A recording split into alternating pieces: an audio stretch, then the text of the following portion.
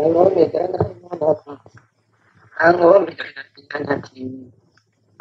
ထေရဝါဒနဲ့ထေရဝါဒမဟုတ်တော့ဘုရားဒီနာတော့အစစ်အမှန်ဒီနည်းချက်မှတ်တတ်တဲ့ကျမ်းစာပေါ့သာသနာရေးဦးစီးဌာနညွှန်ကြားရေးမှူးဦးအမောင်နဲ့ပသိဖုံးတယ်ဗုဒ္ဓဓမ္မအကြောင်းကျိုးပြယထာဘုဒ္ဓဖော်ထုတ်ကြအချိန်ကဝက်ပြည့်နေတော့ထေရဝါဒဂိုင်းကူးကိုင်းကို တစုတစ်ပေါင်းနဲ့ဖြစ်ရာအားထုတ်ခြင်းဖြစ်ပြီထိုကိုင်းကူးကိုင်းစူးစီးမိတော့အခါ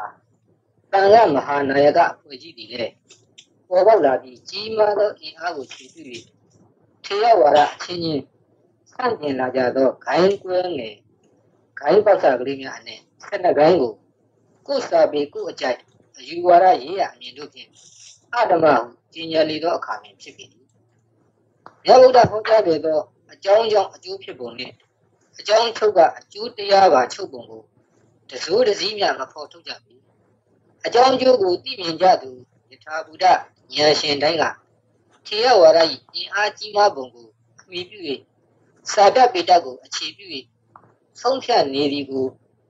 လုံးဝလက်ခံ၍ရမည်မဟုတ်ပါဘူး။ထို့ကြောင့်ထေရဝါဒကိုဗုဒ္ဓဟောလုပ်နေကြသည့်အတွက်ဟုတ်မဟုတ်အကြောင်းကျိုးတရားကို ဖော်ထုတ်ပြလိုက်ရင်ထေရဝါဒသည်ဗုဒ္ဓဟောနှင့်လွဲနေပါလားဟုအမှန်နဲ့အမှန်ကိုခွဲခြားသိနိုင်ကြပါစေရန်ထုတ်ဖော်ဖို့စိတ်အားထက်သန်လာမိပြီ။တို့နှင့်အောက်ပါစာကိုရေးပြီးနိုင်ငံတော်သို့တင်ပြလိုက်ရပါပြီ။တို့ဥနေဝင်ဥက္ကဋ္ဌသည်မြန်မာဆိုရှယ်လစ်လမ်းစဉ်ပါတီဗဟိုကော်မတီရန်ကုန်မြို့ဦးဆိုင်သမတာကြီး ပြည်တော်စုဆိုရှယ်လစ်သမတာမြန်မာနိုင်ငံတော်ရန်ကုန်မြို့ရက်စွဲ1983ခုဇူလိုင်လ29ရက်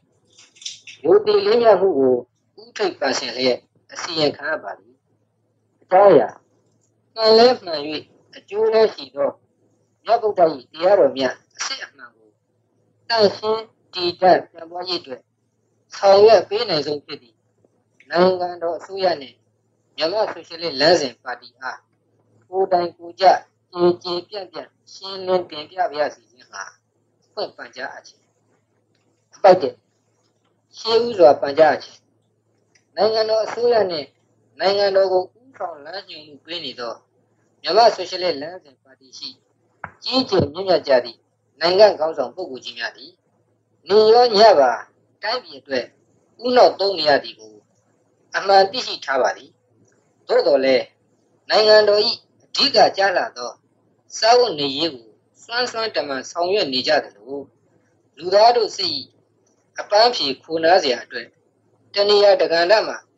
ချမ်းသာအစ်စ်ကိုစာဝတ်နေရေးပြည့်စုံမှုဖြင့်မတင်းတိမ်နိုင်သေး၍ဘာသာရေးအယူဝါဒများဘက်သို့စံတဝါဝါဖြင့်ခြေဆန့်ကတွေ့လိမ့်နိုးနိုးဖုန်နိုးနိုးဖြင့်ဗုဒ္ဓနီးကြမဟုတ်မူပဲ စူးစမ်းရှာဖွေနေကြလျက်ရှိနေသည့်ကြောင့်ဘာသာရေးဝါဒီများအဖြစ်မှလည်းချမ်းသာအစစ်ကိုမတွေ့ရ၍ဆုံးရှုံးနေနိုင်ရပြီးတိုင်းပြည်လိုအပ်ဘက်မှလည်းရော့နေ၍အလားအဖြစ်နေသည်ကိုဟုတ်တိုင်းမှန်စွာသိရှိလာကြပါကဤကံမုတ်ချတိုင်းပြည်အကျိုးတော်ဆောင်လူသားများအမှန်ဖြစ်လာမည်ကိုယုံကြည်မိလျက်ကျွန်တော် ARD တိုင်းပသိမ်မြို့တိုင်းပြည်စဉ်ဦးစီးဌာနမှာ စရေးစစ်နှင့်မောင်ဆိုးလွင်48နှစ်ကစေရနာအယုခံရှိထိုင်ငံတော်နှင့်လမ်းစဉ်ပါတီ၏မြတ်ဗုဒ္ဓသာသနာတော်တန်ရှင်းတည်တံ့ပြန့်ပွားရေးရည်ရွယ်ချက်အောင်မြင်စေရန်တကယ်တန်ရှင်းတကယ်တည်တံ့တကယ်ပြန့်ပွားစေသောဟာမြတ်ဗုဒ္ဓ၏အဖို့မဖြတ်နိုင်သောလမ်းညွှန်ချက်များကိုဟုတ်တိုင်းမှန်စွာဒေသနာနည်းလက်တွေ့နည်းများဖြင့်ကိုယ်တိုင်ကိုယ်ကြကြဲကြဲပြန့်ပြန့်ရှင်းလင်းတင်ပြပါရစေဟု ရှင်းဥစွာခွင့်ပန်ကြားပါသည်အပိုက်နှင့်ပန်ကြားရခြင်း၏ရည်ရွယ်ချက်လမ်းစဉ်ပါတီနှင့်နိုင်ငံတော်အစိုးရ၏မြင့်မြတ်သောစိတ်စေတနာဖြင့်ဆောင်ရွက်ပေးလျက်ရှိနေသောမြတ်ဗုဒ္ဓသာနာတော်အားအမှန်တကယ်တန့်ရှင်းတည်တတ်ပြန်ပွားရေးကိုအကောင့်ထဲအမှန်တိုင်းပေါ်လွင်လာစေရန်ထောက်ကူပံ့ပေးလူချင်းနှင့်လောက်သားပြည်သူများကလည်းမြတ်ဗုဒ္ဓ၏ဒေသနာအစစ်အမှန်ကိုဟုတ်တိုင်းမှန်စွာသိမြင်သဘောပေါက်လာပြီးမဂ္ဂင်တရား၈ပါးကိုသာ လိုက်နာကျင့်သုံးကြခြင်းဖြင့်ချမ်းသာစေဒုက္ခကိုအမှန်ရရှိပြီး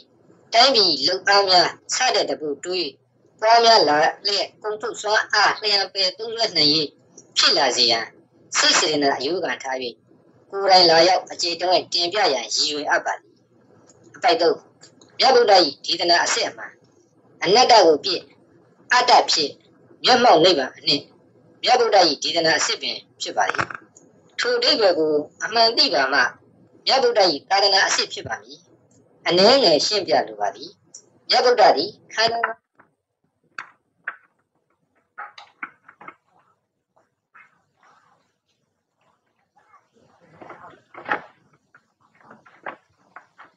၎င်း၏အကြောင်းတရားကကာမတဏှာဘဝတဏှာဝိဘဝတဏှာပင်ဖြစ်ကြောင်းဟောကြားခဲ့ခြင်းဖြစ်ပါသည်ထိုအကြောင်းနှင့်တကွာအကျိုးတရားသည် ဒုက္ခဆင်းရဲခြင်းသာဖြစ်သည်ဟုဟောကြားခဲ့ပါသည်အကျင့်တရားတို့သည်အကြောင်းကြောင့်သာလျှင်အကျိုးတရားများဖြစ်ကြကုန်၏အကြောင်းချုပ်သောအကျိုးတရားလည်းချုပ်၏ထိုတို့တည်သူမြင်သူသည်မြတ်သောယဟန်ဖြစ်၏ဟုမြတ်ဗုဒ္ဓကဟောကြားထားခဲ့ပါသည်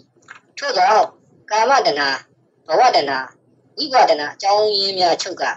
၎င်းကြောင့်ဖြစ်ပေါ်နေသောအကျိုးတရားခေါ်ခန္ဓာ၅ပါးအနိစ္စသဘောဒုက္ခသဘောအနတ္တသဘောတို့သည်လည်း ချုပ်ငြိမ်းကုန်ရ၍နိဗ္ဗာန်ဖြစ်ရပါပေ၏ထို့သောချုပ်ငြိမ်းရန်အကျင့်မှန်ကမြတ်ခင်၈ပါးအကျင့်ပင်ဖြစ်ကြောင်းဟောကြားခဲ့ပါသည်ထိုခန္ဓာ၅ပါးကလူမဟုတ်ကြောင်းလူတွေမှီ၍ဖြစ်လာရပုံကိုဒေသနာနည်းလက်တွေ့နည်းများဖြင့်ကိုယ်တိုင်ကိုယ်ကြအကျေတုံးရှင်းပြလိုပါသည်အပိုက်လေးအရေးအမြတ်မြနှိုင်းရှင်ဖော်ပြချက်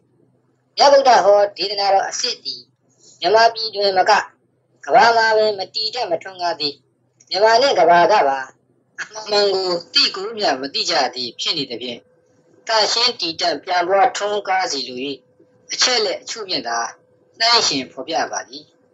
ထိုဖော်ပြချက်သည်သာအတိမှန်ကိုရရှိစေပြီးအစစ်အမှန်နှင့်အတူရောင်ကိုခွဲခွဲခြားခြားဖြစ်စေရပါမည်ဟု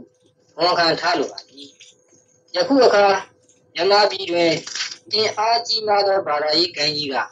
အင်အားချိနေသောဘာသာရေးဂိုင်းငယ်များအားအရမဟူ၍ပြီးအပိုင်းဆုံးဖြတ်ချက်ရှိနေခြင်းတွင်လူကြီးမင်းများနှင့်ပြည်သူလူထုများအားဂိုင်းချင်းချင်းထိုတို့ဆုံးဖြတ်နေကြခြင်းသည်မှန်သည်မှားသည်ကိုထင်ကနေသိမြင်ဆုံးဖြတ်နိုင်အောင်ကျွန်တော်ကမိမောင်းကြီးတစ်ဖွဲဗုဒ္ဓ၏အလင်းရောင်ကြီးကိုထွန်းပေးလိုပါသည်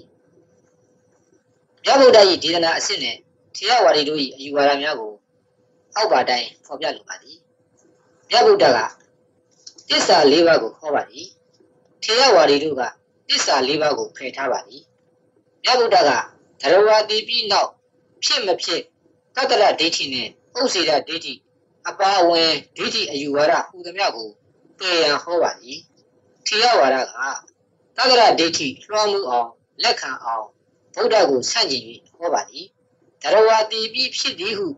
ယူပြီးဘုံများမှာကျင်လျက်မည်ဟုဟောသည့်အတွက်ဗုဒ္ဓအားဆန့်ကျင်ပါသည်ဗုဒ္ဓဘက်ကခန္ဓာ၅ပါးအကျိုးတရားသည်မျက်စိဖြင့်ယူပကိုနားဖြင့်အပံကိုနှာခေါင်းဖြင့်အနံ့ကိုစသဖြင့်အဆွဲပြရမှတဏှာဖြစ်လာခြင်းကြောင့်လူမှာမှီပြီးသို့မဟုတ်မဟာဗုဒ္ဓကိုမှီပြီးဖြစ်ပေါ်လာရသည်ဟုဟောကြားထားပါသည်ထေရဝါဒကလူကိုရုပ်ဟူ၍၎င်း ဝေဒနာတင်ညာသင်္ခါရဝိညာဏကိုနာဟူ၍၎င်းသို့မဟုတ်လူမရှိယောက်ျားမရှိမိန်းမမရှိပုဂ္ဂိုလ်တရားမရှိဟူ၍၎င်းအကြောင်းမဲ့အထောက်ပံ့မဲ့လျက်လွဲမှားစွာအမှန်ကိုဆက်ကြည့်ဟောပါသည်မြတ်ဗုဒ္ဓကနိဗ္ဗာန်ကိုမျက်မှောက်မသေးခင်ရအပ်သည်ကိုခေါ်ပါသည်ထေရဝါဒကတီဒီအထိဒုက္ခသာဖြစ်၍နောင်တရားမဖြစ်မှနိဗ္ဗာန်ရောက်ပြီဟုအမှန်ကိုဆန့်ကျင်ပြီးဟောပါသည် မြတ်ဗုဒ္ဓကကောင်းမှုကံလုပ်ကကောင်းကျိုးရ၏မကောင်းမှုလုပ်ကမကောင်းကျိုးရ၏ဟုဟောပါသည်ထေရဝါဒကကောင်းကံကြောင့်နတ်ဘုံရောက်၏မကောင်းကံကြောင့်ငရဲပိဋ္ဌာတိရစ္ဆာန်ဘုံရောက်၏ဟုဟောပါသည်ရှင်းဝင်ပေးပါလားထို့တဲ့ပြီးပြင်းနာရှင်းပြီးဟုတ်သားပါလားဟူ၍အသိမှန်များဖြစ်ပေါ်လာရအောင်ဒေသနာအရှင်များဖြင့်ရှင်းပြလိုပါသည်အပိုင်ကဟောသူအတွက် တီးတန်ဝန်ခံချက်ထေရမီယာဟောခြင်းမျိုးကိုပယ်၍စိတ်ကူးယုံကြံဆယုံတက်တဲ့ဖြင့်ဟောခြင်းမျိုးကိုပယ်၍ဟုတ်တိုင်းမှန်စွာသိမြင်ပြီးအကြောင်းငယ်တကွအကျိုးတရားများကိုသိမြင်ပြီးဒေသနာဂိုက်လက်တွေ့ဟောပြနိုင်မှာကြောင့်ဝန်ခံအပ်ပါသည်အပိုက်6ထုံးဖော်ဖွင့်ဟပညာချက်မြတ်ဗုဒ္ဓ၏ဒေသနာတော်သည်ထေရဝါဒီတို့၏ဝါရများနှင့်မိသူများမပတ်သက်ပါကြောင်း ဖွင့်ဟပညာပါသည်ထိုပညာချက်အတိုင်းဟုတ်မဟုတ်ကျွန်တော်ဟာဖိတ်ခေါ်ရှင်းလင်းတင်ပြခိုင်းပါရန်တန်ကြအပ်ပါသည်အပိုက်ခွန်နဲ့ကျွန်တော်ဤဆန္ဒအကယ်၍နိုင်စဉ်ပါတီကတော့၎င်းနိုင်ငံတော်အစိုးရကတော့၎င်းကျွန်တော်ဟာဖိတ်ခေါ်လူပါကကဘာလူသားများဗုဒ္ဓ၏ဒေသနာအစစ်အမှန်ကိုအမှန်တိုင်းသိခွင့်ရတော်မူဟုညာစွာဝမ်းမြောက်မည်ဖြစ်ပါကြောင်းနဲ့တိတိကျကျ ထောက်ပြ၍ရှင်းလင်းတင်ပြလိုပါသည်အပိုက်ရှိရှင်းပြလိုသောပုဂ္ဂိုလ်များလမ်းစဉ်ပါတီမှအဓိကပုဂ္ဂိုလ်များနိုင်ငံတော်အစိုးရအဖွဲ့မှအဓိကပုဂ္ဂိုလ်များရန်ကုန်တက္ကသိုလ်မှဘာသာရေးကျွမ်းကျင်သူပုဂ္ဂိုလ်များနှင့်မှန်လဲမှန်၍အကျိုးလဲရှိသည့်တရားများကိုသာလူလားကြကုန်သောပုဂ္ဂိုလ်များအားခွဲခြားစိတ်ဖြာ၍ဟုတ်တိုင်းမှန်စွာရှင်းပြလိုပါကြောင်းတင်ပြလျက်အခွင့်ပန်ကြပါသည် စူးလွယ်29ခွန်83ကာယကနာပါစီစိတ်မနာစီနဲ့တဲ့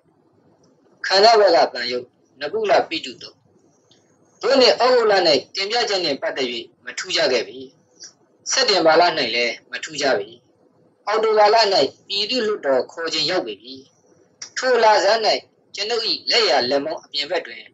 လွန်ငယ်သောလေးလကျော်ကမှဲ့တလုံးကိုကုတ်ချစ်မိ၍ အနာဖြစ်လာသည်ဖြင့်ဆေးထက်ကုသခဲ့ရဘူး၏ယခုအချိန်တွင်အဖို့အချိန်များကြစ်လက်စွာဖြစ်လာပြီတို့ကြောင့်ကိုယ်ပိုင်အမျက်ဖော်ဆေးဖြင့်ပုံ၍ကုသလိုက်ရာအမျက်များပေါ်လျက်မချိမဆန့်အနာများဖြစ်ပေါ်လာပြီ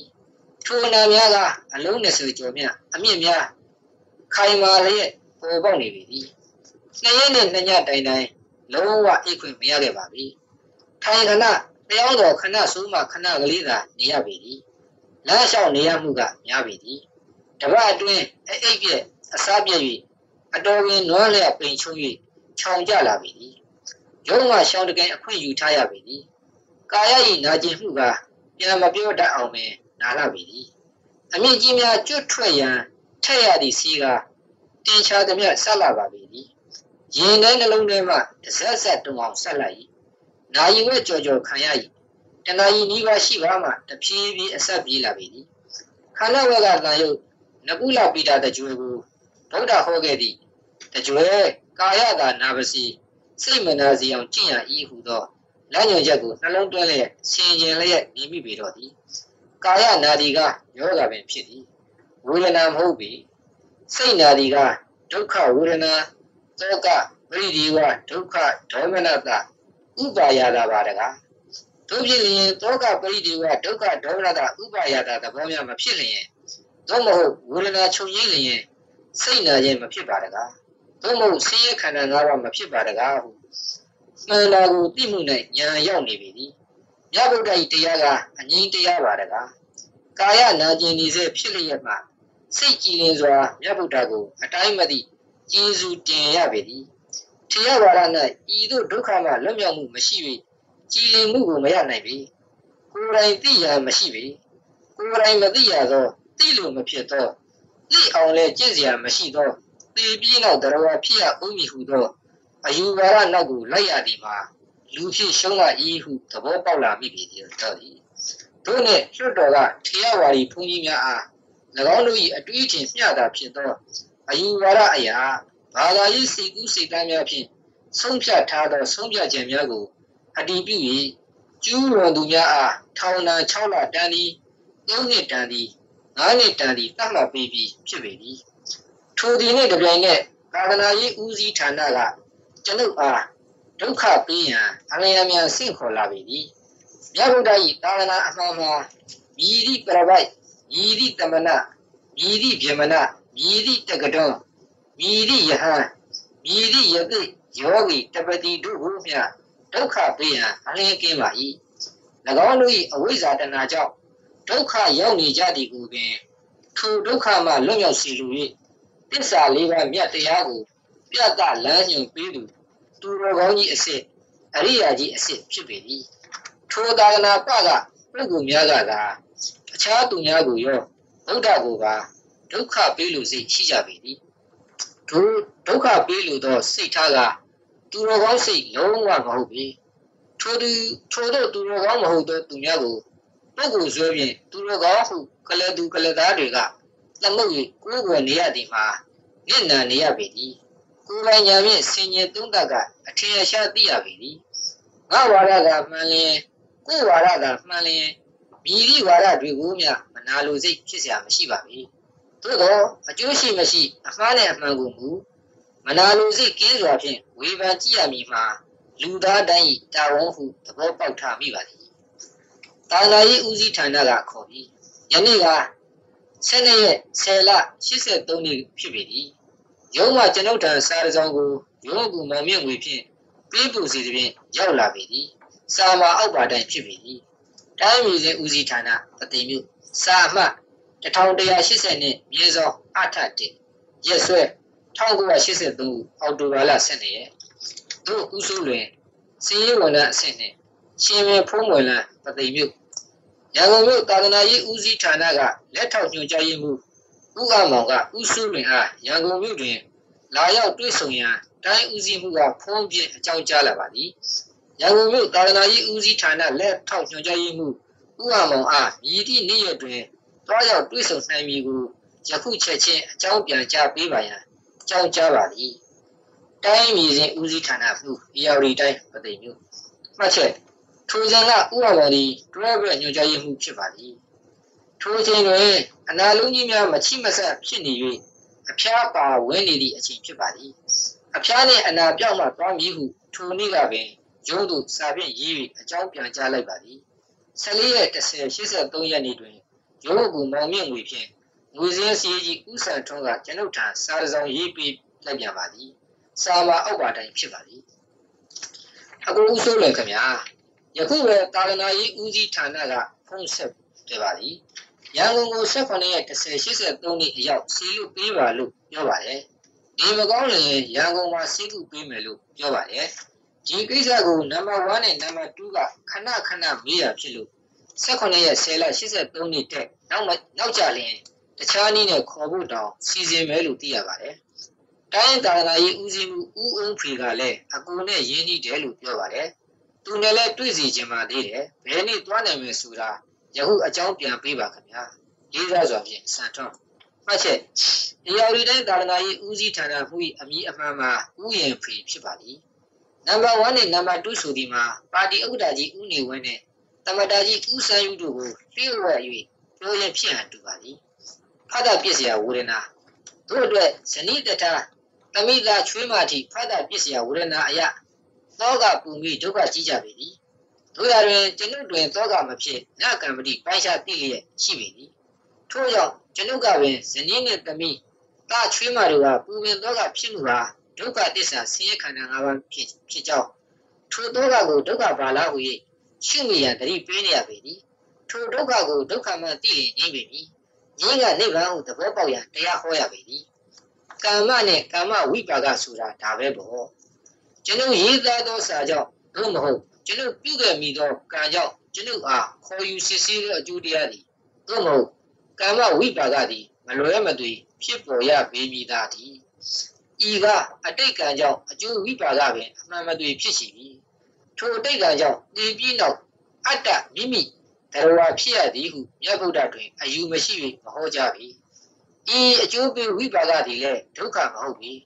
ဒုက္ခဟူသည်အကြောင်းရှိမှအကြောင်းနဲ့တကွပေါ်လာရာယူပင်ဖြစ်ပြီအကြောင်းနဲ့တကွဆင်းရဲဖြစ်ပုံဟူသည်မှာအကျိုးဝိပါကဘောကိုတော်မှုကိုဖတ်တာဟုခေါ်သောစိတ်ထိခိုက်မှုစိုးရင်ကြောက်ကြမှုဖြစ်ပါမှဖတ်တာပြည့်စရာဝေဒနာသဘောအမှန်အရာဆင်းရဲခံစားရမှုဖြစ်ရပြီ ယခုတော့ဝိပါကနဲ့ကျွန်ုပ်ဖတ်တာမဖြစ်ပြီခေါ်စစ်မည်ကိုခေါ်စစ်မည်ဟုသိနေုံတမေသာသိနေရ၏ထို့ကြောင့်တောကဆင်းရဲမှလွတ်လပ်မှုဖြစ်နေရ၏ဒုက္ခမဖြစ်မှကိုဟာကိုသိနေရ၏မြတ်ဗုဒ္ဓ၏သာသနာကနှိုင်းစရာမရှိတော့ပါပြီအတိုင်းမသိမြတ်ပါပြီဤဟုသိနေရပါ၏ထိုသဘောကိုကျွန်ုပ်၏ဇနီးကမိတာချွေးမတို့ကိုနားလည်အောင်ဖြည်းဖြည်းသာသာရှင်းပြနေရ၏၎င်းတို့ကတောကဖြစ်မြဲလာပါသည် ရှိစီပြီဦးတော်တို့နဲ့ကျွန်ုပ်ဒီ16 10 83နှစ်ညနေ၄နာရီကိုတင်မောဖြင့်သွားမည်ဖြစ်ကြောင်းရုံးတို့အကြောင်းပြန်ကြားစာရေးပြလိုက်ရပြီ။ဤတည်းမကြမီပြန့်နှံ့သွားသဖြင့်အနည်းနားမှတက်ကြီးရွယ်ဦးများလူလက်ကိုင်းများတစတစအင်းတို့ရောက်လာကြပြီသည်။၎င်းတို့၏ထေရဝါဒအသည့်ဖြင့်ဝေးမြန်းကြသောအမင်းများကိုဒေသနာနည်းလက်တွေ့နည်းဖြင့်အကြောင်းအကျိုးပြ၍ရှင်းပြပေးနေရပြီသည်။ တော်တော်တို့ဦးလေးတို့နားလည်နေတဲ့ဒီပြည့်နောက်ကရဝဖြစ်ရအောင်မယ်ဆိုတဲ့ထေရဝါဒကတစ်မျိုး။မြတ်ဗုဒ္ဓဟောတာကဆင်းရဲဒုက္ခချုပ်ငြိမ်းဖို့တရားကတစ်မျိုးပဲ။ထေရဝါဒဒုက္ခကလူဖြစ်ဒုက္ခလူဒုက္ခလူနာဒုက္ခလူဒီဒုက္ခတွေပဲ။အဲဒါမဂ္ဂင်၈ပါးနဲ့ကျင့်လို့မချုပ်ဘူး။မျက်စိမိတ်ကျင့်လို့လည်းမချုပ်ဘူး။အလူဒါနပေးလို့လည်းမချုပ်ဘူး။ကောင်းမှုနဲ့လည်းမချုပ်ဘူး။ ဆူတောင်းလို့ကလည်းမချုပ်ဘူးတော်တော်ရဲ့။ဗုဒ္ဓဟောတဲ့လောဘဒေါသမောဟတရားကတော့မဂ္ဂင်၈ပါးနဲ့မိမိရရကျင့်ရင်ဆင်းရဲချုပ်ငြိမ်းသွားတယ်တော်တော်ရဲ့အဲဒီဆင်းရဲချုပ်သွားရင်အနတ္တလည်းချုပ်သွားတယ်ခင်ဗျာဒါဖြင့်မောဆိုးလင်ကလူနာဒုက္ခကိုလက်မခံဘူးတော့တို့မြတ်စွာဘုရားကတော့လူဦးလူနာလူသေးဒုက္ခပဲတဲ့ဟောထားတယ်တို့ကိုကြည့်တို့အိုးနေပြီတို့နားနေပြီ မအိုပါနဲ့မနာပါနဲ့လို့တားမြစ်လို့မရတာကအနတ္တဟဲ့သူ့သဘောသူဆောင်နေတဲ့ကိုဖြစ်စေခြင်းတလို့လိုက်မဖြစ်တဲ့ဒီအနတ္တကြီးကိုကဲဘယ်လိုလုပ်ပြီးပယ်လို့ရမလဲဟဲ့ဘေးရရှိနေသောအများသူငါတွေကိုထောက်ခံချက်တောင်းခံသောအကြည့်အပြုံးဖြင့်ကဲဟုတ်တယ်မဟုတ်လားဟုထောက်ခံချက်တောင်းဆိုလိုက်ပြီသည်ပြီးတော့ကျွန်ုပ်ကဆက်ပြီးပြောလိုက်ပါသည်သည်နင်တို့လိုအရွယ်မရောက်သေးလို့နင်မတည်သေးတာ အေးနင်တို့လိုအရွယ်ရောက်လာရင်တိလာပါလိမ့်မယ်စောင့်တာကြည့်ပြီးတော့ဟူ၍ဖြစ်ပြီဥမဒုက္ခကိုသိရမယ်လို့တော့ဗုဒ္ဓမဟောပါဘူးတော်တော်ရဲ့လူဥရာကဓာတုသဘောပဲတော်တော်ရဲ့ဒုက္ခမဟုတ်ပါဘူးမလူခြင်းပဲဥလာတာကိုမလူလားတဲ့စိတ်ထိလိုက်ရမယ်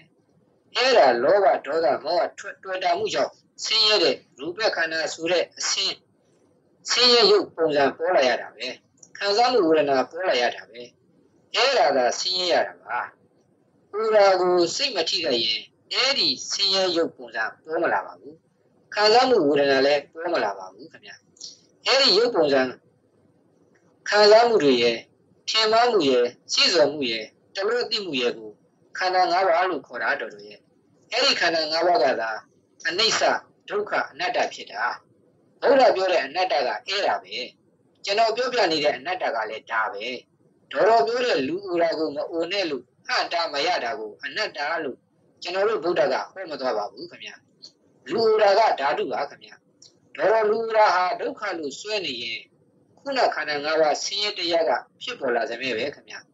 ဒီလိုဆိုရင်တော်တော်တို့မှာဘယ်တော့ဒုက္ခကချုပ်ပါတော့မလဲဒုက္ခနဲ့မကင်းမဲ့ရှိနေတော့မှာပေါ့ဟုတ်တယ်မဟုတ်လား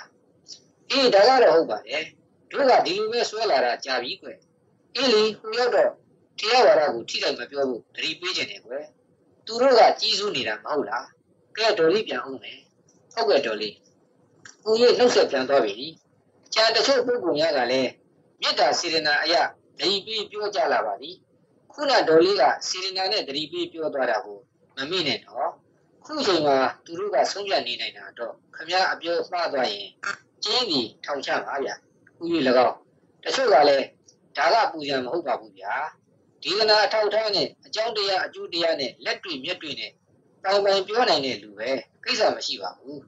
ကျွန်တော်တော့ကိုစိုးလွန်ကိုစိတ်ချတယ်ဥယျ၎င်း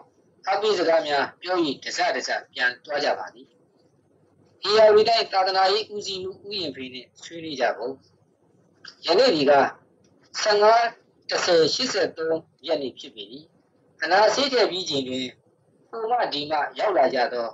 ဓမ္မမိတ်ဆွေသင်္ဃများအား မြတ်ဗုဒ္ဓကိုယ်တိုင်အနတ္တတရားလူကြီးအပြီးအပိုင်မြေတတ်တော်မူပြီးဖြစ်ပုံကိုအကြောင်းအကျိုးဖြင့်ဒေသနာတော်များဖြင့်ပြ၍ရှင်းပြနေရပေသည်၎င်းတို့ကအကြံဉာဏ်များပြီးခြင်းမှားကြခြင်းဒတိပြီးခြင်းစသည့်ဘယ်ပေါင်းစုံရှိတော့အပေတယ်လို့ဖြင့်စကားလက်ဆောင်ကြနေရပေသည်တို့နဲ့ကျွန်ုပ်၏ဟောပြောချက်ကိုပထမဆုံးသဘောပေါက်နားလည်လက်ခံသူမင်းလုံးရောင်လန်းနေဦးတန်းကကျွန်ုပ်၏အနာအတွက်ဆောင်းလျှောက်ပေးရန် ရန်ကုန်သို့လိုက်ပါပေးမည်ဟုပြောလာပေသည်တို့နဲ့နောက်တနေ့တွားရမည့်ခရီးစဉ်အတွက်ပြင်ဆင်ကြရင်းဖြင့်ရပ်ဘက်၌တိုင်းသာသနာရေးဦးစီးမှုဥယျာဉ်ဖေထံဦးတန်းနဲ့ကျွန်ုပ်တို့တွားရောက်တွေ့ဆုံခဲ့ကြပေသည်ဥယျာဉ်ဖေကထမ်းတော်ရဲ့တုတ်တန်အနည်းရှိဘုန်းကြီးကျောင်း၌နေသူဖြစ်ပေသည်ဥယျာဉ်ဖေကိုင်ကိုစိုးလင်ခမရဘာတွေလျှောက်ရေးပြီးဥက္ကရာကြီးနဲ့ကမ္မတာကြီးတို့စီပြုတ်လိုက်တာလေလောက်ပါအောင်ဟုပြုံးဖြည်းဖြည်းဖြည်းမေးပါသည်ကျွန်ုပ် ပြည်သူတွေဟာဗုဒ္ဓဟောတဲ့တရားစစ်ကိုမသိကြသေးဘူးဗျဗုဒ္ဓရဲ့အမှန်တရားတွေကိုဖော်ထုတ်ပြခြင်းလို့ပေါ့ဗျာဥယျာဉ်ဖေအဲခမရကတော့လုပ်ပြီးထေရဝါဒလည်းဗုဒ္ဓပဲမဟုတ်လားဗျကျွန်ုပ်ထေရဝါဒဟာဗုဒ္ဓဟောမဟုတ်ဘူးဗျ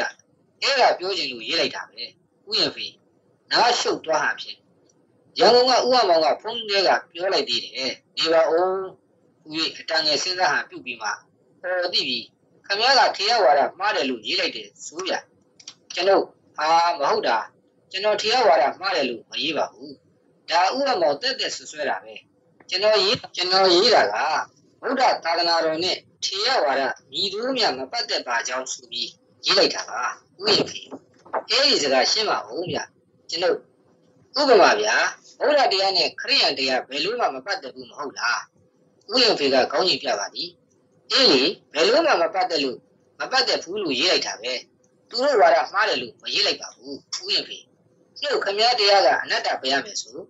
ခမည်းတော့အဲ့ဒါကြောက်ပဲအဲ့ဒါခမည်းကြောက်ကြတော့မယ်ခမည်းသိတယ်မဟုတ်လားကျွန်တော်အေးလေဗျာဘုရားကိုယ်တိုင်ဒီအနတ္တတရားစုကိုတွေ့ပြီးပါပြီလို့ပြောခဲ့တာကိုဗျာဥယျာဉ်ဖေလောက်ရောမယ်အနတ္တကိုဘယ်ဘယ်လိုပယ်ရမလဲဘာနဲ့ပယ်မလဲဗျအနတ္တရဲ့အဓိပ္ပာယ်ကိုရည်ရွယ်မရန်ရှိပါသည် ခမည်းရေးသလိုတကယ်ခိုင်လုံတဲ့ဒီကနာအထောက်အထားတွေရှိရလားကျွန်တော်ရှိပါတယ်ဗျာရှိလို့ရေးပြီးတင်ပြရဲတာပေါ့တော့မဟုတ်ရင်ဘယ်ရေးတင်ပြပါမလဲဥယျာဉ်ဖေဒါဖြင့်ပြောစမ်းပါဦးကျွန်တော်အနတ္တဆိုတာအတ္တမဟုတ်လို့ပြောတာမဟုတ်လားဥယျာဉ်ဖေကကောင်းရှင်းပြပါလိအတ္တဆိုတာကမိမိကိုယ်လို့နာစားသုံးတာမဟုတ်လားဥယျာဉ်ဖေကကောင်းရှင်းပြပါလိဒီလိုဆိုတော့ခန္ဓာ၅ပါးဟာမိမိကိုယ်ကောင်မဟုတ်ငါမဟုတ် မိမိမဟုတ်ဒါမှမဟုတ်လူမဟုတ်လို့ပြောတာပဲပေါ့ဥယျာဉ်ဖေကအနှဲငယ်တူဝီသွားပြပါလိဒီတော့လူနဲ့ခန္ဓာ၅ပါးဆိုပြီးနှမျိုးရှိနေတာပေါ့ဥယျာဉ်ဖေအဲအဲဘယ်လိုဘယ်လိုခင်ဗျားကလူယုံနံကိုပရမပညာမခွဲရပဲပြောနေတာကိုဥယျာဉ်ဖေကတူရင်းနေပါသည်ကျွန်တော်ဥယျာဉ်ဖေစိတ်မဆိုးနဲ့နော်မှတ်ချက်ကျွန်တော်ပြောမယ့်စကားကို ကြားပြီးစိတ်ဆိုးလာမှဆိုရင်ကျူတင်တောင်းပန်ထားရခြင်းဖြစ်ပါသည်ဥယျာဉ်ဖေခင်ဗျားကဘာပြောမှမို့လို့စိတ်ဆိုးရပါလဲကျွန်တော်ဟောဒီလိုပါဒီယုံနံတို့ပညာတို့ပရမတ်တို့ဆိုတဲ့စကားဗုဒ္ဓသုံးလုံးတာမတွေ့ရပဲခမည်းတော်ရဲ့ရှေးတီကိုဘုန်းကြီးတို့ရဲ့လုတ်တုတ်စာတွေဖြစ်တယ်လို့ဗုဒ္ဓစာပေလေ့လာသူတိုင်းကဝေဖန်ထားတာဖတ်ရလို့ပါဥပမာဗျာပညာပရမတ်ဆိုတဲ့အယူဆတမှုရိတစ္ဆာပရမတ္ထတစ္ဆာဆိုတဲ့အသုံးအနှုန်းတွေဟာ မိလိတာပညာကျမ်းကစတွေ့ရတယ်လို့ပြောကြပါတယ်စိတ်မရှိနဲ့နော်ဒီတော့ဗုဒ္ဓစကားတဲ့မပါတာတွေနဲ့ရှင်းနေရရင်ခမည်းနားလည်မှာမဟုတ်ဘူးခမည်းနားလည်အောင်ဗုဒ္ဓစကားနဲ့ရှင်းပြပါမယ်ဥပမာကိုအရင်ပြောမယ်ခမည်းထွန်းထားတဲ့မိရင်ပြောင်းတဲ့မှိုင်းနဲ့နှမျိုးရှိတယ်လို့မြင်သိသလားဥယျာဉ်ဘေးကခေါင်းရှင်ပြပါသည်ဒီတော့ပြောင်းဟာမိအိမ်ရေနာစီမိစာတို့နဲ့တွဲထားတာနော်မိထွန်းတော့မှမှိုင်းဖြစ်လာပြီး ပြောင်းမှကတ်နေရတာဟုတ်လားဥယျာဉ်ဘေးကခေါင်းရှင်ပြပါသည်ဒီလိုပါပဲလူမာရဲ့မျက်စိရဲ့နားစတဲ့ပစ္စည်းတွေနဲ့တွဲနေရတယ်ပဋိစ္စမိထွန်းလိုက်တော့ဖတ်တာပစ္စည်းဝေဒနာတဏှာဥပါဒံဘဝဆိုတဲ့ခန္ဓာ၅ပါးကလူမှာမိပြီးပေါ်လာရတာဒါကြောင့်လူကလူပဲခန္ဓာ၅ပါးကမျက်စိနားစတဲ့နေရာကပဋိစ္စလို့လို့ပေါ်လာရတာဒါကိုပြစ္ဆေဝဂီ၅ဦးကလူနဲ့ခန္ဓာအတူတူပါပဲလို့မြင်နေလို့ဗုဒ္ဓက ဣတမမဣသောဟမတမိဣသောမိအတ္တတိဆိုတဲ့ခန္ဓာ၅ပါးဟာငါဥစ္စာလားခန္ဓာ၅ပါးဟာငါလားခန္ဓာ၅ပါးဟာမိမိလားလို့မေးကြတာမဟုတ်လားဥယျာဉ်ဖေကကောင်းကြီးပြပါလိအတိပ္ပယ်ကရုပ်ဝေဒနာတင်ညာသင်္ခါရဝိညာဏတို့ဟာငါဥစ္စာလားငါလားငါဆိုတဲ့လူလားလို့မြေတော့ပိဿဝက်ကြီးငါဥကသဘောပေါက်သွားတယ်နောဟိတံဗန္ဒီခန္ဓာ၅ပါးဆိုတာငါဥစ္စာလည်းမဟုတ်ပါဘူးငါဆိုတာလည်းမဟုတ်ပါဘူးငါဆိုတဲ့လူကောင်လည်း မဟုတ်ပါဘူးလို့အမှန်သိမြင်ပြီးမောခံရှာတယ်အဲ့ဒါသောတာပန်အမြင်ပါပဲငါနဲ့ခန္ဓာ၅ပါးကွဲသွားပြီပထမကအတူတူလို့ထင်နေတာဗုဒ္ဓရှင်းပြတော့မှလူကလူပဲခန္ဓာ၅ပါးကခန္ဓာ၅ပါးပဲလို့ခွဲခြားသိမြင်သွားတယ်။ဒါကြောင့်လူနဲ့ခန္ဓာ၅ပါးနှမျိုးရှိနေတယ်။လက်တို့လည်းဒီတိုင်းပဲဗျ။ပညာပရမတ်တွေနဲ့ရှုပ်เสียရမလိုတော့ပါဘူး ကဲအကျိုးအကြောင်းနဲ့ရှင်းကြရအောင်မိဘနှစ်ပါးကအကြောင်းပြန်လူကအကျိုးပြန် မှတ်ချက်ဥယျာဉ်ဖေကလက်ခံခြင်းပုံမပေါ်ပြီတာမညဖလားတော့မှာမာတာပိဋိကတန်ဖိုးလို့ခေါ်ထားတယ်မဟုတ်လားခမရဓမ္မစရိယာပဲသိပါတယ်မှတ်ချက်ဘဝင်မကြစွာဖြင့်အင်းဟုအတန်ထွက်လာပါသည်အတိတ်ကဤကူကောင်ကြီးသည်မိဘနှစ်ပါးမှာအမှန်ဖြစ်လာရ၏လို့ခေါ်ထားပါတယ်ခန္ဓာ၅ပါးကအကျိုးတရားဗျတဏှာကအကြောင်းတရားလို့ဓမ္မစကြာမှာဟောထားတယ်ဒီတော့တဏှာချုပ်ရင်ခန္ဓာ၅ပါးချုပ်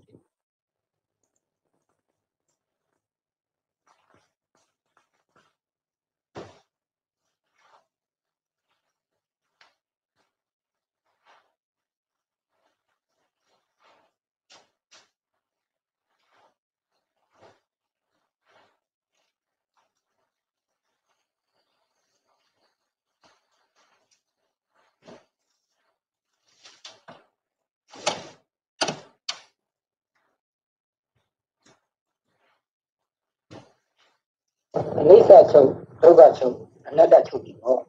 မှတ်ချက်ဥယျာဉ်ဖေကခတ်တူတွေရင်ဖြစ်နေတာရှိပါဘူးမြင်ရရုံနာကျွမ်းနေသူဖြစ်ကြောင်းကဘုရားစကားဆိုနားမလဲအောင်ဖြစ်နေပြီကထင်ရှားလှပြီဥပမာဗျာခမရလူဖြစ်စာကလေးကကွန်စားပြီးမွေးလာတာလားဥယျာဉ်ဖေဘယ်ဟုတ်မလဲနောက်မှကြီးလာမှစတတ်လာတာပေါ့ကျွန်တော်အခုကိုယ်ကိုမစားဘဲမနေနိုင်လို့စားနေတာမဟုတ်လား ဥယျာဉ်ဖေကပြုံးပြပြပြကောင်းကြီးပြပါလိ။ကိုယ်စားတဲ့ပုံစံကဒုက္ခခန္ဓာခေါ်ပါတယ်။ခင်ဗျားကတော့ကိုယ်ကောင်ကြီးလို့ခေါ်ရတယ်။ခံစားနေတာကဝေဒနာခန္ဓာပေါ့ဗျာ။ဥယျာဉ်ဖေတိပြီတိပြီဟုအာရရှင်ပြုံးစွာဖြင့်ပြောကြလာပါသည်။ကျွန်ုပ်အဲ့ဒီကုန်းဝေဒနာဆိုတာကအကြောင်းနဲ့ဖြစ်လာတာ။ကိုယ်ရဲ့အပြစ်ကိုတွေ့ရင်မခံနိုင်ဖြစ်လာရင်အကျိုးမဲ့တာတွေ့လာရင်တမာတိတိမဲ့ကြပြီး ညှို့ငွေလာတော့မယ်ညှို့ငွေပံများလာတော့ခံစားလိုမှုကိုပဲလာတယ်ဆာလောင်မှုငြိမ့်သွားရင်မက်ကိစ္စအကျင့်ပြီးဆုံးပြီကျင့်သုံးမှုကုန်ပြီကုန်းဝေဒနာချုပ်ပြီကုန်းဝေဒနာအတွက်နောက်ထပ်ကျင့်စရာမဲ့မရှိတော့ဘူးဒီတော့ဝေဒနာအနိစ္စဒုက္ခအနတ္တတို့ကပါမတွေ့ရတော့ဘူးမဟုတ်လားဒီအနိစ္စတွေဒုက္ခတွေအနတ္တတွေမတွေ့တော့မှလမ်းဆုံးတဲ့ငြိမ်းအေးတဲ့နိဗ္ဗာန် ဖြစ်ရတာဗျဥယျာဉ်ပေအလွန်သဘောပေါက်စွာဖြင့်ဟုတ်သားပဲဒီလိုဆိုအစိုးရကကျွန်တော်တို့ကိုခင်ဗျားတို့အောင်ထားတဲ့ဓမ္မစရိယလက်မှတ်ကဘယ်စာနဲ့အောင်ထားတာလဲလို့မေးရင်အဲ့ဒါမှ6ပဲပြီဒီတော့ဗျာဥစုနေမှုတစ်ခုမှာကြပါလေရန်ကုန်ရောက်ရင်ဥက္ကရာကြီးဥနေဝင်းနဲ့တမတာကြီးဥစမ်းယူတို့နဲ့အရင်မတွေ့သေးပဲတန်ခါမဟာနာယကအဖွဲ့နဲ့အရင်တွေ့လိုက်ဗျာသူတို့ပြောသမျှမငင်းမဲလက်မှတ်ထိုးပြီး ပြန်ခဲ့ဖို့ပါပြစီဗျာတို့နဲ့ကျွန်တော်နဲ့ဦးတန်းတို့လည်းတိုင်းသာသနာရေးဦးစီးမှုဥယျာဉ်ဖေကနှုတ်ဆက်၍ပြန်ခဲ့ကြပြီဒီစာတပေတဓမ္မစရိယပုဂ္ဂိုလ်ယာရုရှိသူဖြစ်ပြီချနိုင်ခဲ့သောမာမနကိုချလွယ်သူဖြစ်ကြောင်းတွေ့ရပြီမြတ်ဗုဒ္ဓဒေသနာတော်ကိုရွတ်ဆို၍ရှင်းလင်းပြောပြနေခြင်းတွင်ပလထိုင်ပေါ်မှထိုင်ရမှရုံးစုကျမ်းမြင်ပေါ်သို့ဆင့်ထိုင်ချလိုက်ပြီးလူသည်စွာတရားနာသူဖြစ်ပြီကျွန်ုပ်ကအာနာလာသဖြင့် အာမဟုတ်တာဥယျာဉ်ပြီကလာထိုင်ပေါ်မှာပြန်ထိုင်နေပါဗျာခုခွင့်ပြုတော်လဲရပါတယ်ဗျာဆက်ဟောပါနာပါမယ်ဟုလူသားစွာဖြေကြပါသည်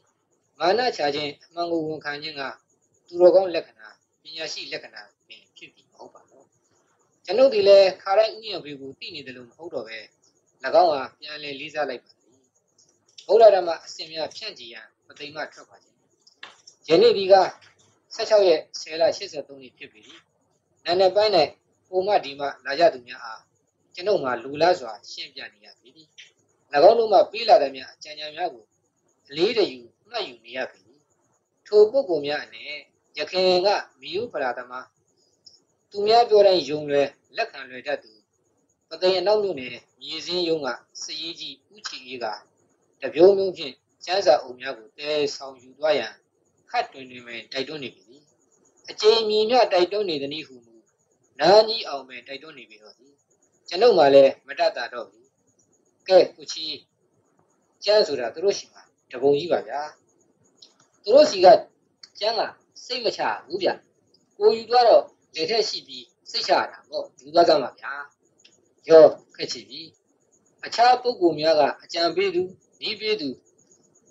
စကားတင်သူများ၏အဖို့တန်အကျိုးရစကားများမှုအာယုံဆိုင်နေရတာမဖြောက်အောင်ပဲ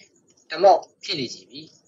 ကျွန်ုပ်လည်းမတတ်တာတော့ပြီဖြစ်ဥချီရလက်လျှော့လိုက်ရပြီအေးပါအေးအေးကဲကဲယူသွားပါမယ်ဗျာ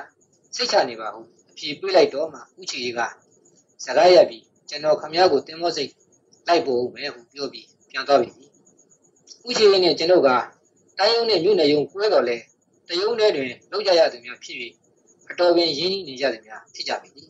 ရခင်က၎င်းသည်မယုဖလာအစွဲသမားပိမ့်ပိမ့်ပြိတ်နေသူရင်ဖြစ်ပြီ ကိုတိထားတယ်လို့နားလည်းသူမဟုတ်ပြီကိုပြောတယ်လို့နားလည်သူတူလည်းမဟုတ်ပြီထို့ကြောင့်ကျွန်ုပ်ဒီ၎င်းနားလည်လာရအောင်မိသူပြောရမည်ဟုဤဟုအချိန်ယူ၍စဉ်းစားခဲ့ရပြီ၎င်း၏အယူဝါဒများအနက်ဥပမာဖုံးတော်ကြီးကကပုံနာကြီးကဝိစီယမန္တန်ကြီးကိုရွတ်လိုက်တဲ့အခါမြေခွေးကရသွားပြီးမြေခွေးကအဲဒီဝိစီယမန္တန်ကိုရွတ်ဆိုလိုက်တယ်လို့ဆိုလျင်ဟုတ်ပြီဟုဆွဲဆွဲမြဲမြဲလက်ခံသူဖြစ်လေပြီ တနည်းတေရဆိုတာဖုံးတော်ကြီးကပေးမှစောင့်ထင်းလို့ရတယ်။ဘုန်းကြီးစီကတီလမခံယူပဲစောင့်ရင်အပူပဲတီလအရာမရောက်ဘူးဇွတ်ပင်ဆိုတတ်လိမ့်မည်။ကျွန်ုပ်ကဥချီလူသားရဲ့အဓိကအတိမှန်ဖို့ကရင်းအင်းမှုရဖို့ပဲမဟုတ်လား။ဒီတော့ဘယ်လိုမြင်ဘယ်လိုတွေးဘယ်လိုပြောကြည့်ရင်နှစ်ဦးနှစ်ဖက်အကျိုးမရှိဘူးလား။ဆင်းရဲမကင်းဘူးလားဟုပြောပြရင်၎င်းကဒီပြောပြတဲ့စကားကိုအလကားတရားဟု မထင်မဲ့မြင်သဘောထပ်တာပြီးဘုန်းကြီးကသာဘာလို့ဘယ်လိုပြောပြောအဲ့ဒါမှဟုတ်တာမှန်တာဟုလုပ်နေသူတူးပင်ဖြစ်ခဲ့ပြီထို့ကြောင့်ကျွန်ုပ်ဒီမလွှဲမဆောင်တာပဲဘုန်းတော်ကြီးတို့အယူဝါဒများကိုမပြောခြင်းရှောင်လွှဲခြင်းတော့လေပြောခဲ့ဝေဖန်ခဲ့ရပြီဒီလက်တွေ့ပြခဲ့ရပြီဒီကြာတော့ဥချီရည်ဒီဝေဖန်တတ်လာကြည့်ပြီစိတ်ညစ်ညူးစရာများဖြစ်လာတဲ့ကျင်သုံးကြည့်တတ်လေပြီနောက်တော့သဘောပေါက်သွားသူဖြစ်ပြီး တော်ရုံတိုင်ရုံလောကဓာတ်များဖြင့်ကျင်သုံးစရာမလိုတော့ပဲဝင်းလုံးကျွချမ်းသာရရပြီဟု၎င်းကဝန်ခံခဲ့ဘူးလေပြီထို့ကြောင့်ယခုဗုဒ္ဓတရားအရေး၌၎င်းကဝမ်းသာအားရဖြစ်နေပြီညနေ3နာရီခွဲလင်ဥဒန်းနဲ့ကျွန်ုပ်တို့တင်မောစီတို့ထွက်ခွာခဲ့ပြီတင်မောစီ၌လိုက်ပါပို့ဆောင်ကျူဆူနေနေကြသူများကမြေနူလက်ကဥထွန်းရှင်ဥရုမောင်ဘူဒါမဥဆန်ဒီခေါ်ဥမြင့်စု ဥကြည်ဝင်းနဲ့အခြားပုဂ္ဂိုလ်များတွေ့ကြရပြီမကြာမီဥချီရေးလည်းရောက်လာပြီအပိစကားပြောခြင်းအကြံဉာဏ်ပူးခြင်းဖြင့်ညနေ၄နာရီခွဲတွင်တော်ထွက်ခါတဲ့ဖြင့်နှုတ်ဆက်ကြ၍ပြန်သွားကြပြီ။မကြာမီတင်းမောစားတဲ့ဆိုင်မှာချက်ပြုတ်ကြော်လောအနတ်တို့ကြောင့်ကျွန်ုပ်၏အနာများအတွက်ဥမမှာစိုးရင်စွာဖြင့်ပြုစု၍ဂရုစိုက်ကြပြီ။ကဘာရေးရှိသဘူဒီဘကျောင်းဆောင်သို့ရောက်ရှိခြင်းယနေ့ဒီက18ရက်10လ83ရက်နေ့ရန်ကုန်သို့ရောက်ပြီ။ ချွေးမစီရင်ရှိအရှိမုတ်မြေစင်းဘိကတိုက်အခန်းတစ်ခု၌ပစ္စည်းများသိသိထားလိုက်ပြီးစာအုပ်ခါးကိုခါးစားဖြင့်ပင်အငှားသားငှား၍ဥရလောင်ရှိရာကဘာရေးစကူဒီဘကျောင်းဆောင်သို့ထွက်ခဲ့ကြပေသည်။နာနဲ့ဆယ်လာရီခွဲတွင်ကဘာရေးအဝ၌အငှားသားကရက်ပေးသည်ဖြင့်အတွင်းသို့ခြေလျင်လျှောက်ခဲ့ရာထမင်းဆိုင်ရတွေ့ထမင်းဝင်စားကြပြီးစကူဒီဘကျောင်းဆောင်သို့ရှောက်လာခဲ့ပြီ။ဥရလောင်ကမ တွေ့ရ၍လူငယ်တဦးကရုံးကျိုးသို့လိုက်ခဲ့ပါရန်ဦးအမောင်ကမှာချသွားကြောင်းပြောလာတဲ့ပြင်၎င်းညွန်ပြရာရုံးကျိုးသို့ဆက်လက်၍တိုက်သွားခဲ့ရပြီ။ရောက်လင်ရုံးကျိုးအပေါ်တက်သို့တက်သွားပြီးရုံးအဖွဲ့ဟာကျွန်ုပ်တို့ရောက်ကြောင်းတရင်ပို့ခိုင်းလိုက်ရာမကြာမီဦးအမောင်ထွက်လာပြီးအတွင်းကန်းသို့ကျွန်ုပ်တို့အာခေါ်ဆောင်၍သွားခဲ့ပြီ။ဦးအမောင်ကအသားဖြူဖြူမပိန်မဝအရအမောင်ထောင်းထောင်းမောင်းမောင်းရှိလာပြီ။ အမ်မီအောင်ပြီးဓမ္မစရိယအောင်သူပါဠိပါရဂူတဦးဖြစ်တွဲဘက်ညွှန်ကြားရေးမှုဖြစ်ပြီ။ဇဝဲကတိုင်များမှာဖုံမြင့်လင်းကြံနေတဲ့ပြင်ဥရမောင်ကအနည်းအကျဉ်းလှဲခါလိုက်ပြီးထိုင်လျက်ကျွန်ုပ်တို့ကိုလှမ်းခိုက်ခတ်နေပြီ။ကျွန်ုပ်တို့လည်းဖုံရကိုလှဲခါလိုက်ပြီးထိုင်လိုက်ကြပြီ။ဥရမောင်ကဥနိဝထံတင်ပြထားသောကျွန်ုပ်၏စာရန်ကိုရှေ့၌ချထားလိုက်ပြီးကျွန်ုပ်ကစကားဆက်ပြီးဆူလာပြီ။ အချိန်ကနာနဲ့7နာရီခွဲပြီ။ဘုရားသာသနာအစစ်နဲ့ထေရဝါဒမတူအောင်ရှင်းပြခြင်းဥဆိုးလင်ဒီစာကိုပါဠိဥပဒေကြီးဥနေဝင်နဲ့သမဏကြီးဥဆန်းယူလို့စီတင်ပြတယ်ဆိုတာဟုတ်ပါသလားကျွန်တော်ဟုတ်ပါတယ်ခင်ဗျာဥလာတော့ဒီလိုဆိုတော့ဥဆိုးလင်ကိုကျွန်တော်စစ်ချက်ယူရမယ်အဲဥဆိုးလင်ရဲ့ဝါဒကဘာဝါဒလဲဆိုတာပြောပြပါကျွန်တော်ကျွန်တော်မှာဘာဝါဒမှမရှိပါဘူးဥလာတော့ဘယ်နဲ့ဝါဒမရှိရမလဲ ဒီအချိန်မှာဒီလူရှောင်းလွဲပြောလို့ဘယ်ရမလဲကျွန်တော်ကတောင်းအရမေးနေရတာဗျဖြေပါကျွန်တော်ကျွန်တော်မှာဘာဝဓာမှမရှိလို့ဘာဝဓာမှမရှိကြောင်းပြောနေပါတယ်ဗျာလက်ရေးမှာဖြစ်ရင်ကျွန်တော်ဖြေတဲ့အတိုင်းရေးလိုက်တော့ဗျာဥပမာဒီမှာဥစုနေစိတ်မရှိရနဲ့ကျွန်တော်လူကြီးတွေကတောင်းပေးထားပြီးပြီခမည်းကိုခေါ်ပြီးခမည်းရဲ့ဝါဒကဘာဝါဒလဲဆိုတာပုံလည်းအောင်စစ်ပြီး ပြန်တင်ပြပါလို့တာဝန်ပေးထားတယ်ကဲခမည်းဝါဒကိုပြောပါကျွန်တော်လက်ရည်ယူပါမယ်ကျွန်တော်ဒီမှာဥပမာအောင်ကျွန်တော်ကကျွန်တော်ဝါဒကိုပြောပြပါမယ်လို့ရေးရလားမြတ်ဗုဒ္ဓရဲ့ဒေသနာတော်အစ်စ်တွေကိုရှင်းပြပါရစီလို့ရေးထားကြလားဆိုတာဥရမောင်ရဲ့လက်ထက်မှာရှိသားပဲဗျာကျွန်တော်မှလည်းအဲဒီစာလက်ခံကိုယူလာပါတယ်ကျွန်တော်ဘာဝရကိုမှလက်မခံဘူးမှတ်ချက် မြတ်ဗုဒ္ဓတွင်မြည်သည့်ဝါရများမရှိကြောင်းမြစ်စီမပန္နတပါဠိတော်အဲဒီဝိသတုတ်တွင်ဖြေကြားထားပြီဥရမောင်ဒီလိုလေဓာတ်ဆရာဆရာဘူးဘာကြောင့်အသက်ခံရတယ်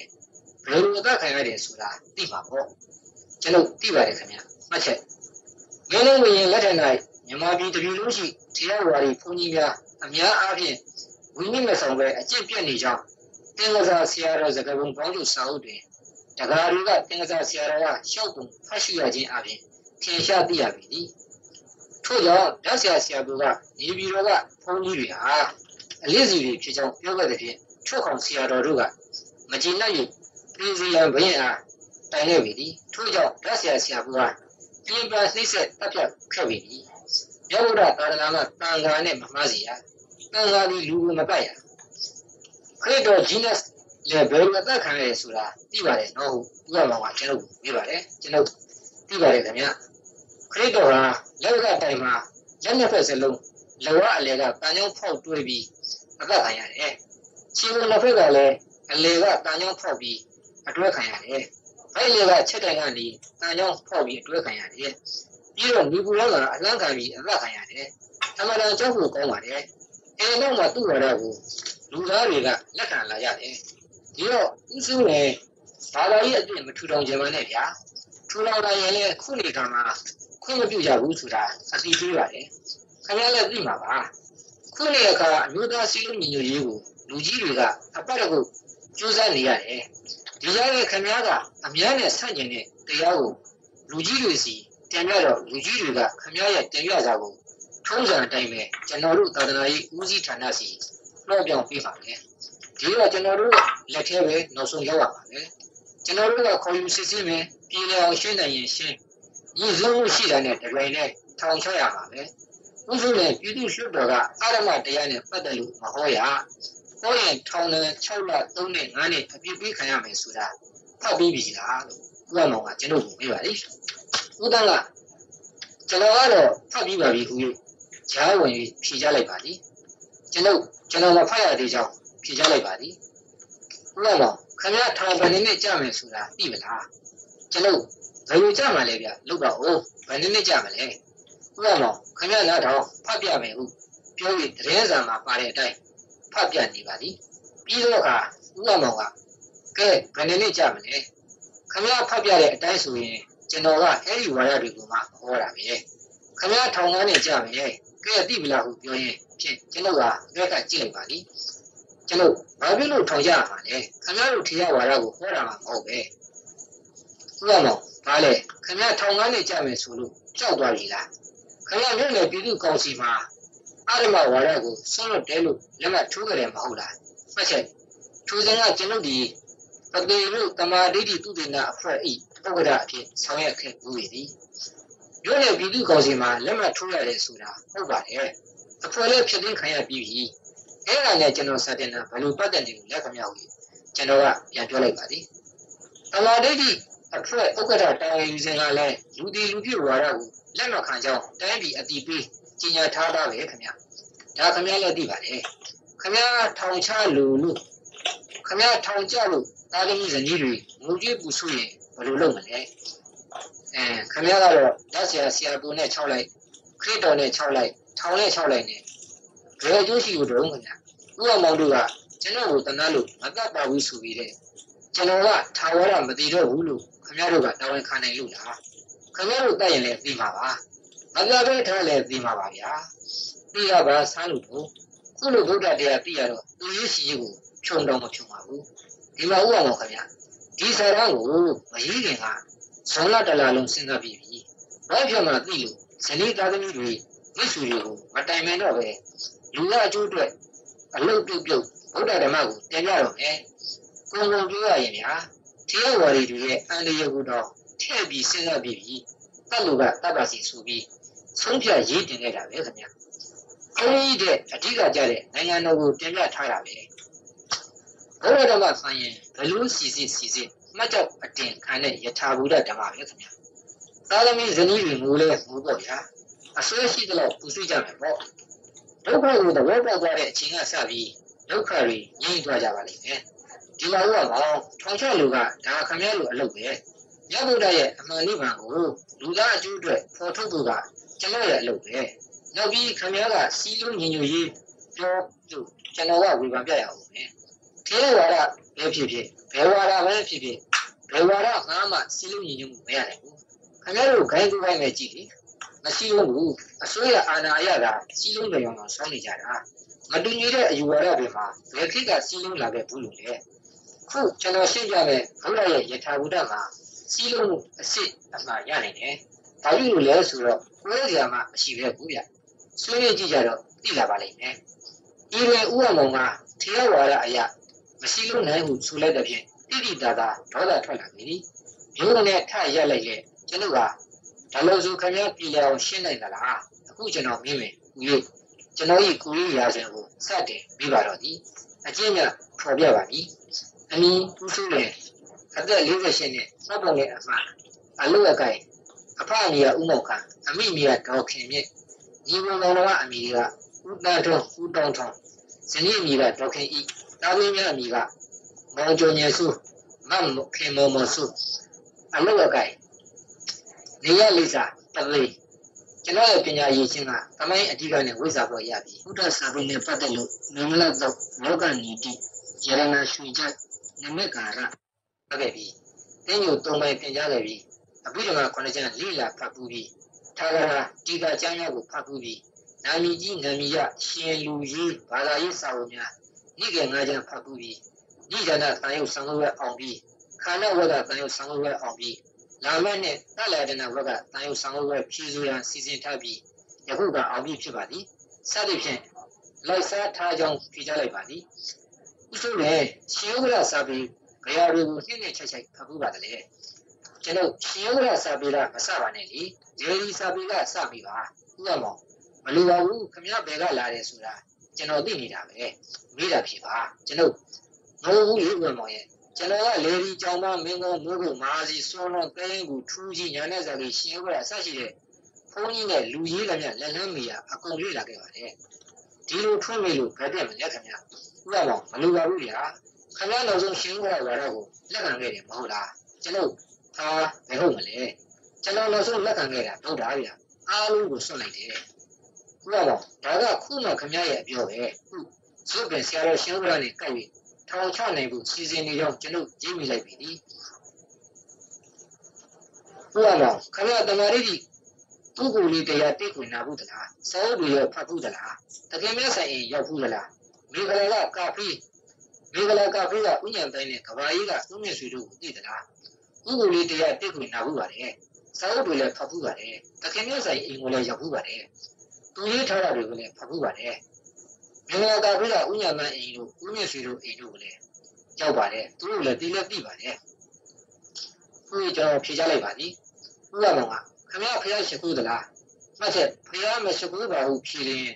ကျွန်တော်ဘုရားဘာသာဝင်တူမဟုတ်ကြောင်းကိုနိုင်ငံတော်အားတင်ပြခြင်းဖြင့်ပြဿနာပြည်ကြီးကိုကျွန်တော်ကအရေးယူနိုင်ရရည်ရွယ်မိရတူပါလိကျွန်တော်ခုမရှိခိုးတော့ပါဘူးမှတ်ချက် ဦးအမောင်ကဘာကြောင့်မရှိဘူးတလဲဟုဆက်မမိဘူးအကောင်းကြီးမိလာကဇီဒီပထိုးယူပွားဆင်းတုတွေကဘုရားသာသနာပြန်ပွားရအထိမ်းမှယဉ်ကျေးမှုတရားအဖြစ်ပဲလက်ခံပါလေဒါရီရရှိခိုးကြမဟုတ်လို့မရှိခိုးတော့ဘူးဟုဘောဂိတုတ်ကိုအထောက်ထားပြပြီးဖြေပြီးဖြစ်ပါလိဥပမာခုဥပုဆောင်လားဆက်ချက်ဖော်ပြပါတဲ့ရည်ရွယ်မင်းတူပါလိကျွန်တော်ရေစင်ကတော့ဆောင်မှုပါလေခုလိုပြည်လာတော့မဆောင်တော့ပါဘူးမှတ်ချက်ဘာကြောင့်မဆောင်တယ်လဲဟုဆက်မမေးပါ အကယ်၍မိကကျွန်တော်ကမကောင်းမှုပါဆိုရင်ပြတဲ့ပုဂ္ဂိုလ်ပါဆောင်းလာတဲ့ဟိုအကျိုးရှိနေလို့ပါလို့ဖြေမိဖြစ်ပါလိဥပမာပရိစိတ်ပါသလားမှတ်ချက်ဖပြပါတိုင်းယူရမင်းရတူပါလိကျွန်တော်ပရိမစိတ်တော့ပါဒါကြောင့်ပရိမစိတ်တယ်လဲဟုဆက်မမေးပါအကယ်၍မိကပရိစိတ်မဲ့အစားလက်ခင်ရှင်ပါဖြင့်ကျုံလာတယ်လို့ကြင့်ပါလိဥပမာမိစ္ဆာဒိဋ္ဌိအမြင်ဖြစ်လာရင် မိစ္ဆာဒိဋ္ဌိအမြင်ပါလားလို့တမာဒိဋ္ဌိဖြစ်အောင်ဆင်ញင်လိုက်ပါလိမိစ္ဆာတန်ခါပဖြစ်လာရင်လည်းမိစ္ဆာသင်္ကပ္ပပါလားလို့ဆင်ញင်မိပြီးတမသင်္ကပ္ပတို့ရောက်စီပါလိဥပမာခင်ဗျာစာထဲမှာအနတ္တကိုဖြစ်အတ္တချရမယ်ဆိုထားတော့ဒါကျွန်တော်တို့ထေရဝါဒတစ်ခုလုံးဘယ်လောက်ထိလိုက်ရတယ်လဲဆိုတာခင်ဗျာသိရလားဘယ်လိုအနတ္တကိုပြရမှာလဲဒါအများကိုစိုက်ကျင်တာဗျနောက်ပြီးရေးထားတာရှိသေးတယ် ယထာဘုဒ္ဓညာနဲ့ဟိုတိုင်းမှန်စွာပြောပြပါမယ်ဆိုတော့ခင်ဗျားကပတိမာဖယားတဆူအဖြစ်နဲ့ပို့နေတယ်ပေါ့လေခင်ဗျားကိုထိုင်ရဖို့ရမယ်ဟုတ်လားနောက်ပြီးဘုရားကတစ္ဆာလေးပါးကိုခေါ်တယ်ထေရဝါဒီကတစ္ဆာလေးပါးကိုဖယ်ထားတယ်တဲ့ပယ်တယ်လို့လည်းရေးတာမဟုတ်ဘူးဘယ်လိုဖယ်ထားရလဲနောက်ပြီးထေရဝါဒကမှားနေတယ်လို့လည်းခင်ဗျားကဆွဆွဲပြီးရေးထားတယ်နောက်တစ်ခုကထေရဝါဒီဝိနည်းတူအဖွဲ့တွေကအရမလို့ဆုံးဖြတ်ထားတာတွေဟာအားလုံးမှားနေတယ်လို့ခင်ဗျားရေးထားတယ် ခင်ဗျားဒါတွေအားလုံးဖြေရှင်းနိုင်ရင်လားကဲပြောစပါဦးဒါတဲ့ခင်ဗျားတို့ပြောနေကြစကားလုံးကကျွန်တော်တို့ကကြားဦးကြားဟောင်းကြားစုတွေထဲမှာညှို့ညွတ်နေရတာကြာပြီခုမှခင်ဗျားတို့ရဲ့ဒေသနာတွေကိုကြားရမှနားဆရတော့မယ်ဟုတ်လားလာရဲလာတဲ့လူပဲခုကြီးမခံရှိမခံတာဖြစ်ပြီးတော်တော်ရှိရှိဝူးဝူးကြီးပြောပြနေပါသည်ဗုဒ္ဓသာသနာရဲ့သဘောတဘာဝနဲ့အာဘာသာဝန်ထမ်းတို့ကြီးဒေါသကနင်းနေကမှမဟာဆက်မိချီတကားဟုတွေး မိနေပါတော့သည်ကဲခင်ဗျားဖြေပါနိဗ္ဗာန်ဟာအနတ္တတရားထဲမှာပါဒလားမပါဘူးလားကျွန်တော်နိဗ္ဗာန်ဆိုတာအနတ္တတရားထဲမှာမပါပါဘူးခင်ဗျာအနတ္တချုပ်မှနိဗ္ဗာန်ပေါ်ပါတယ်ဥပမာအနတ္တကဘယ်လိုချုပ်တယ်လဲ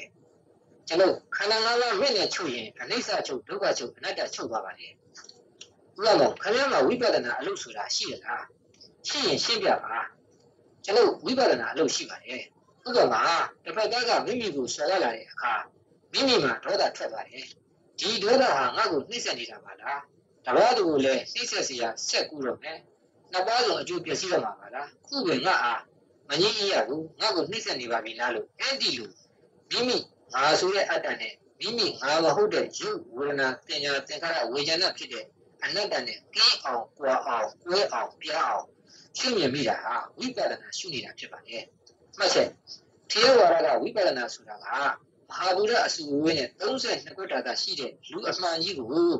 လူမဟုတ်ပါလားပုဂ္ဂိုလ်မဟုတ်ပါလားတရားမဟုတ်ပါလားငါမဟုတ်သူမဟုတ်ရုပ်နဲ့နာမ်ရှိပါလား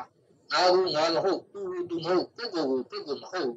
ကျေစားဖြစ်ဖြစ်တာကိုငါပြောက်သွားအောင်ပုဂ္ဂိုလ်ပြောက်သွားအောင်အထူးရှိရတာကိုဝိပဿနာလို့ပြောနေကြပါတယ်အဇိတကေပကံလာကြီးတို့ တကုဒကိစ္စကိစ္စယနာကြီးတို့ကလည်းငါကငါဟုတ်လူလူလူမဟုတ်လို့ပြောနေကြပါတယ်မြတ်ဗုဒ္ဓကယထာဘုဒ္ဓအရာငါမဟုတ်တဲ့ရုပ်ဝေဒနာတင်ညာသင်္ခါရဝိညာဏတွေကိုသာငါမဟုတ်လို့ငါမဟုတ်ဘူးလို့ရှင်းပြပေးတာပါငါကငါမဟုတ်ဘူးလို့ဘယ်ဒီကနာရောမှာမှားမှမတန်တယ်မဆုံးနိုင်ခဲ့ပါဘူးဒီလိုဖော်ပြရတာကအကြောင်းအကျိုးနဲ့နှိုင်းရှင်ကြည့်နေဖို့အမှန်ကိုဝေဖန်ဆန်းစစ်ကြည့်သိနိုင်ဖို့အတွက်ဖော်ပြတာဖြစ်ပါတယ် ပြီးတော့ဥပမောင်ကဆက်ပေးပါတယ်ခင်ဗျားလက်မောင်းကအနာနာရင်ဘယ်လိုကြည့်ပေးတယ်ခန္ဓာဝကတာယုတ်စစချင်းနကုလပိတာတို့ရှိပါတယ်နကုလပိတာကကာယကနာပါစီစိတ်မနာအောင်ကျင်းလို့ဘုရားကဆုံးမတယ်လို့ပဲပေါ့ခင်ဗျာဥပမာအေးလီအဲ့ဒါဘယ်လိုကျင့်ပေးတယ်ကျွန်တော်ကာယနာတာကယောဂပဲဒီယောဂအပေါ်တောကပရိဒီဝဒုက္ခဒေါမနတာဥပါယတာတွေရင်းရင်းစီတာပေါ့ဒီယောကာယကနားနေတာပဲမရှိမဆန်တာတယ် ဒါပေမဲ့စိတ်မှာမနာပါဘူးခင်ဗျအဲ့ဒါကျင့်သုံးရပါပဲဥပမာမက်ဆူတာဘာလို့ခေါ်တာလဲကျွန်တော်တစ္ဆာလေးပါးကိုသိတာကိုမဲ့လို့ခေါ်ပါတယ်ဥပမာခင်ဗျာတစ္ဆာလေးပါးကိုသိပြီးပြီလားကျွန်တော်ဟုတ်ကဲ့ခင်ဗျာသိပြီးပါပြီဥပမာခင်ဗျာနိဗ္ဗာန်ကိုမျက်မှောက်ပြုပြီးပြီလားဖတ်ချက်သောတာပန်ပုဂ္ဂိုလ်ကအရဟံပုဂ္ဂိုလ်တိပုဂ္ဂိုလ်အလိုက်မမျိုးကြီးကျွန်တော်ဟုတ်ကဲ့သိပြီးပါပြီဖတ်ချက် ဘုရားတာဃာတော်တို့ဝင်ရောက်လိလာခြင်းအားထုတ်ခြင်းစတဲ့ရည်ရွယ်ချက်ကအကြောင်းအမျိုးမျိုးကြောင့်ပူပင်တော့ကဗျာပါဒအဆက်ရှိတဲ့ဆင်းရဲတရားတွေမှ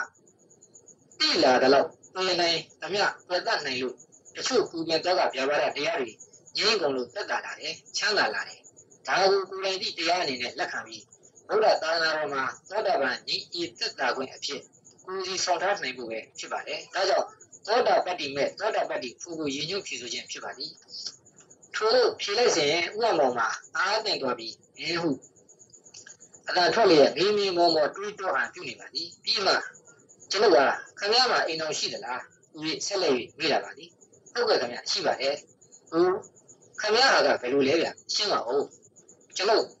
ကျွန်တော်ဇနီးကတရားဝင်လက်ထပ်ထားတဲ့ကျွန်တော်ပိုင်ရဲ့ခင်ဗျာအလိုရှိရင်ကာမဂုဏ်ကိုတိုးဆောင်တယ်တရားဝင်တိုးဆောင်တာဖြစ်ပါတယ်တို့ကလည်းကျွန်တော်ကာမကိုမလိုက်စားဘူးခင်ဗျာဥအောင်မောင်လည်း လူဆိုးထောင်ဖမ်းတဲ့မြက်ခင်းရဲ့ထောင်ရောက်ခဲ့တမင်အုပ်တွေရပါတဲ့သူ့ကိုအခုမှာပါပဲကာမလိုက်စားတဲ့တမင်ဟာလူဆိုးလက်မှာပျက်စီးရပါတယ်ကာမကိုမတုံးဆောင်ပဲအငတ်ခံနေတဲ့တမင်အုပ်လဲငတ်လုံးလာတော့ဒီကာမရက်ခင်းကိုပဲအငမ်းမရဝင်စားရပြီးလူဆိုးရဲ့လက်မှာပျက်စီးသွားရှာတယ်ကာမကိုတတိနဲ့ကာမတတိနဲ့တုံးဆောင်တတ်တဲ့ပညာရှိတမင်အုပ်ကြတော့လူဆိုးလက်ကလွတ်မြောက်ပြီးအစာလေးစားရ အဖြစ်အစည်းနဲ့မခံရပါဘူးဟုတ်တယ်မဟုတ်လားခင်ဗျာအဲ့ချက်ဥရမောင်ကပြုံးပြီးပြုံးစီစီရှင်လဲစွာဖြစ်လာတဲ့ခေါင်းရင်ပြပါသည်ထို့တော့ဥရမောင်ကအခုပါတယ်ဟုတ်ပါတယ်ဥဆိုးလည်းအဲ့ဒီဝေဒနာကိုခံစားနေတာဘယ်အချိန်ထိဝေဒနာဟာကြာပါတယ်လေအချိန်တိတိကျကျပြောရဥပမာဝေဒနာဟာတရက်ကြာသလားတနာရီကြာသလားတမိနစ်ကြာသလားပေါ့ဗျာတိတိကျကျဖြေပါမှတ်ချက်ဥရမောင်ကမဟုတ်မှလွဲရောတင်းကျူစာကပြောထားတဲ့ လက်ရည်တဲ့အတွက်တရက်တစ်ပြက်မှာဂရီတသိန်းချုပ်တယ်ဆိုတာနဲ့ကတ်မိလိုက်ပုံရောက်နေပြီဒါကတော့ကျွန်တော်နဲ့ဥရမောင်နဲ့က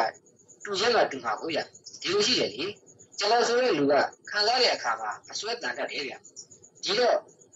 တမင်းနဲ့ပဲတနာရီပဲရလို့တော့ဘယ်ကပါမလဲဥပါဗျာကျွန်တော်ကြိုက်တဲ့ရုပ်ရှင်ကိုကြည့်ပြီးဝေဒနာခံစားတယ်ပေါ့ဒီတော့စက်ကြည့်ကလေးကခံစားနေလိုက်တာနှစ်နာရီခွဲပြလဲခံစားနေတော့မယ်